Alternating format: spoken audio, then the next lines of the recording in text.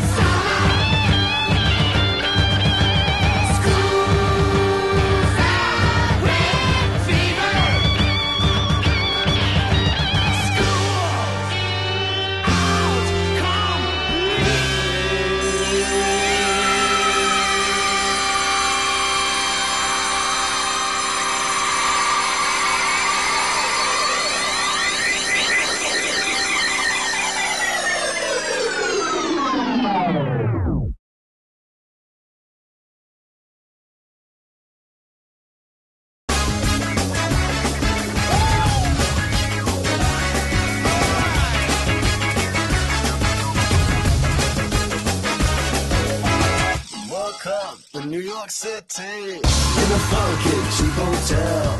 She took my heart